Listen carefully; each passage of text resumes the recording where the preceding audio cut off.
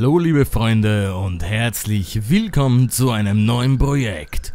Und zwar The Walking Dead. Oh yeah. Ja, ich habe mich lang auf das Spiel hier gefreut. Sehr, sehr lang, verdammt lang, meine lieben Freunde, das könnt ihr mal glauben. Denn äh, ich wollte das eigentlich immer schon mal spielen und immer schon mal Let's Playen, aber das Ding war einfach, dass das äh, immer komplett in Englisch war, das Spiel. Und ihr wisst ja mein Englisch, ne? Ihr kennt ja, ist, äh, ne? ist ja unter aller Sau hier, muss man nicht erwähnen. Aber jetzt gibt es das Ganze mit äh, German Sub, also mit deutschem Untertitel. Und das ist richtig geil, finde ich. Äh, jetzt kann ich hier die Story mitverfolgen und so weiter und so fort und verstehe auch, was die von sich geben. Und das ist das Geile dran und äh, deswegen klicken wir hier einfach auf Spielen. Für mich komplett blind, noch nie gespielt, wie gesagt, weil es immer Englisch war. Hier können wir noch... Ähm, Schwierigkeit auswählen. Das eine ist äh, minimal, deaktiviere Tipps, äh, Hilfe Stellungen und Wahlmitteilungen auf der Benutzeroberfläche und das Ganze ist hier mit mehr Hilfe von der Benutzeroberfläche und Feedback bei wichtigen Entscheidungen. Hm. Also nicht wirklich auf die Schwierigkeit an sich, sondern... Aber ich spiele es lieber mal Standard. Ich kenne das Spiel absolut nicht und wer weiß, ich habe keine Ahnung, wie schwer das ist, ob die Rätsel da intensiv sind, keine Ahnung.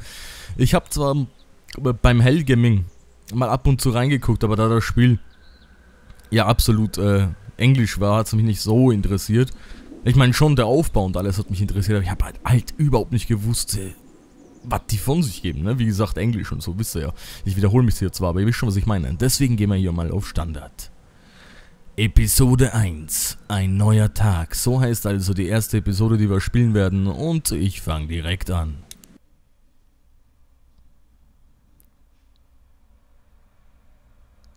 Die Spiel Spielreihe passt sich den von dir getroffenen Entscheidungen an. Ja, ja, genau, davon habe ich schon mitbekommen.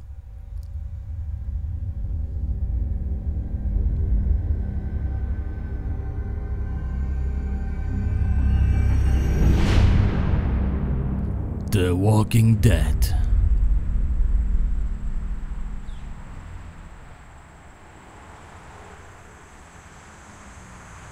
Episode 1 Ein neuer Tag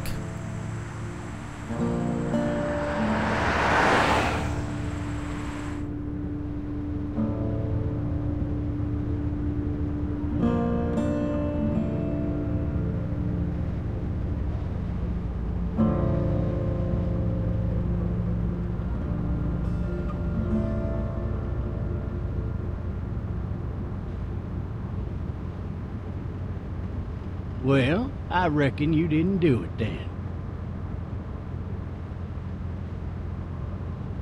Ah, wir können hier auch äh, das, äh, ja, entscheiden, was wir sagen wollen. Warum sagst du das? Du weißt, was man so über die Blablabla spielt, das wirklich eine Rolle? Does it really matter? Nah, not much.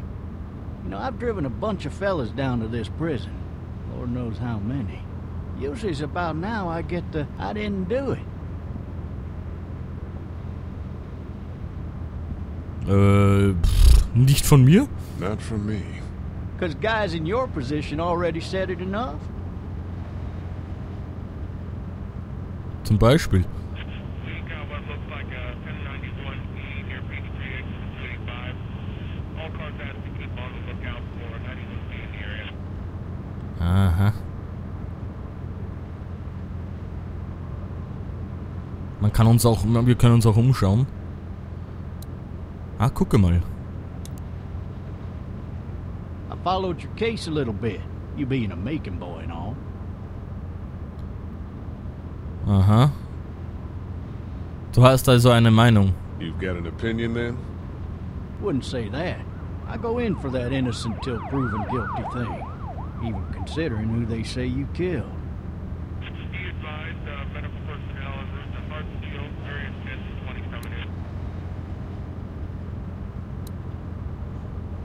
I got a nephew up at UGA. You teach there long? Going on my sixth year. You meet your wife in Athens? You want to know how I see it? Nicht wirklich. Na Naja gut, seien wir mal nett, klar doch. Sure.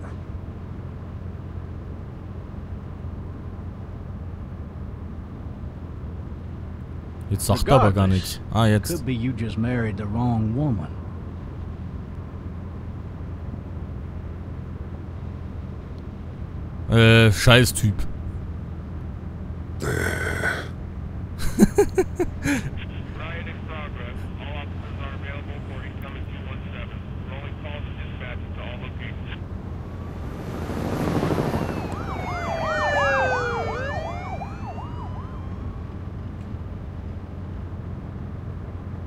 bisschen weit hergeholt, ne, was er da jetzt I'm gesagt hat. driving this man once. He he was the worst one. He wouldn't stop going on about how he didn't do it. He was an older fella, big soft eyes behind a pair of smart folk glasses. And he just wailing back there. Says it wasn't him. Crying and snotting all over right where you're All sitting. are available for incoming Then before long, he starts kicking the back of the seat like, like a fussy baby on an airplane. And I tell him he's got to stop, that that's government property, and I'll be forced to zap him otherwise. So he stops, and having exhausted all his options, he starts crying out for his mama.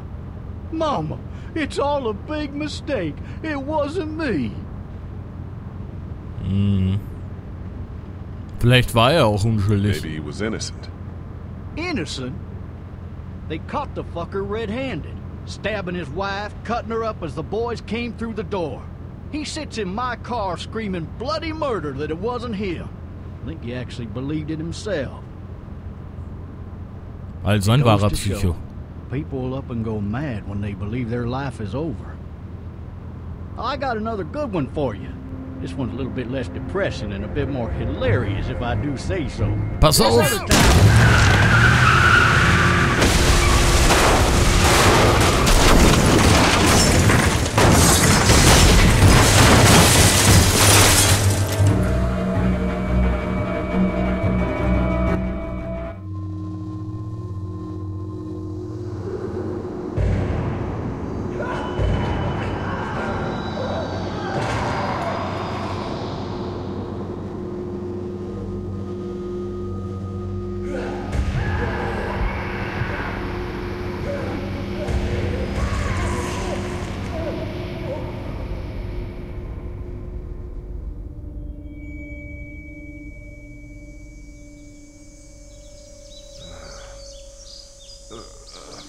Oh, shit. Thirsty. Ah! Fuck! My leg.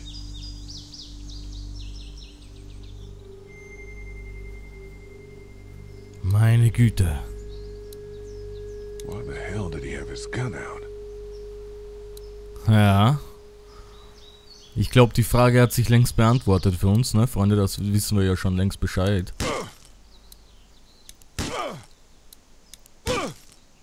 Los, geh auf, du Scheißscheibe! I need to drag myself out that window. Was, ich soll ihn durchs... Ah, ich kann mich ja auch... Okay.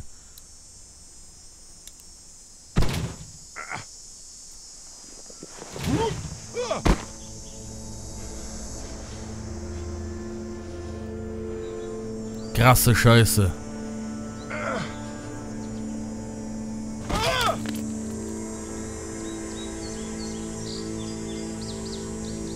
Okay, verwende den linken Stick, um, um dich das Auto entlang zu bewegen, alles klar. Die Beinverletzung muss also sehr schwer sein. Ich würde sagen, wir holen uns direkt mal hier die Schrotflinte, ne? Oder was sagt ihr? Ich glaube, das wäre gar nicht mal unklug.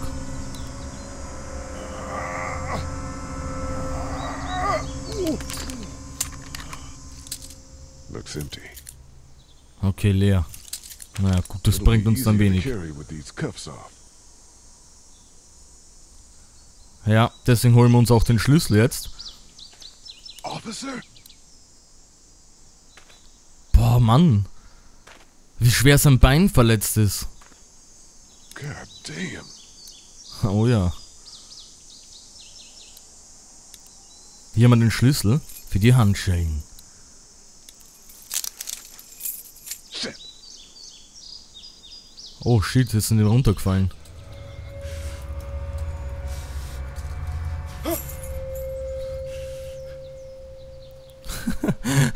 krass, was das Spiel alles so andeuten möchte. Jetzt kurz gerade so.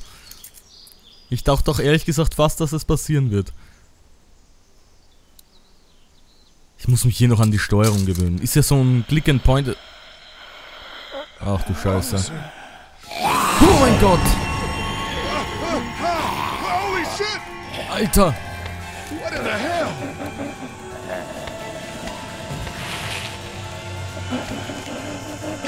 Me!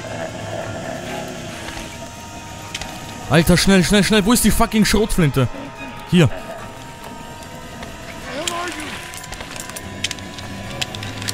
Alter, lass sie doch nicht fallen, die Kugel, Idiot.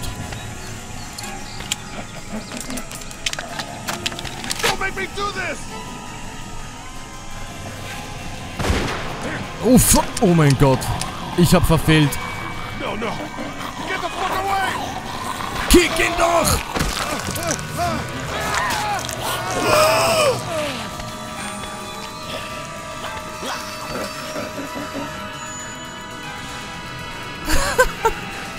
Alter! Boah, scheiße! Boah, fuck, ist das Spiel krass. Ich hab ihn verfehlt, natürlich.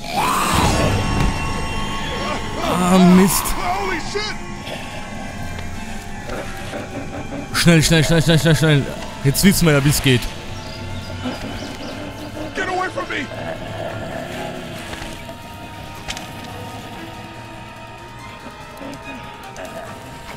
Das Zielen ist gar nicht mal so einfach, da der Stick extrem unempfindlich ist, Freunde. Oh Gott.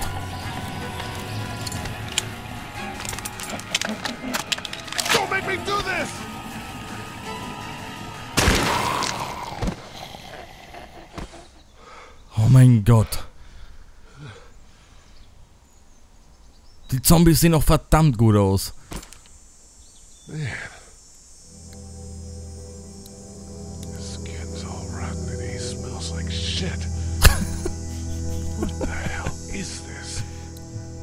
Ja, das nennt man Zombie, mein Freund.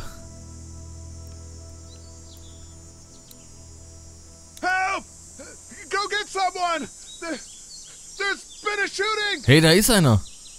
Beziehungsweise eine, das war eine Frau. Oh mein Gott. Ach du heilige Scheiße. Ach, hör auf. Renn, Mann, renn.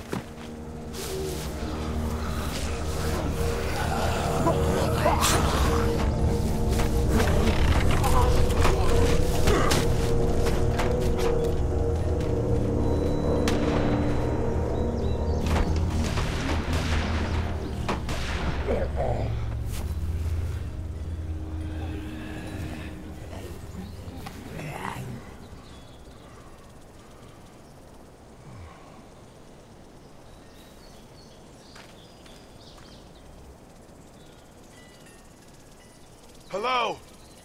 Anybody? Okay, wir scheinen kaum zu sein und wie ihr wisst, viele von euch, bei der Walking Dead ist es ja so, dass die Beißer auf äh, Geräusche reagieren. No ladder. I'm not getting up there anyway. This leg way it is. Ja, aber was ich sehr realistisch gefunden habe, ist, obwohl er so schwer verletzt ist, ähm, konnte er noch so gut abhauen von den Zombies. Was natürlich auch in Wirklichkeit so wäre, weil kein Schmerz ist groß genug, um... Ja, dann nimm sie doch mit.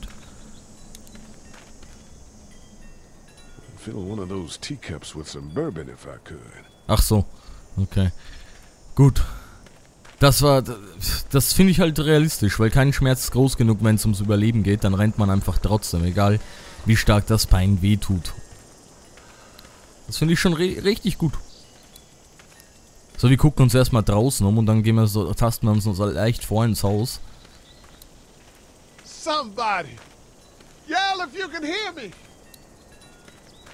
Maybe I should just check inside the house through the glass door before wandering out into the neighborhood. Ja, wäre wirklich eine gute Idee. Man weiß nicht, was da draußen alles rumläuft. Sicher nichts Gutes.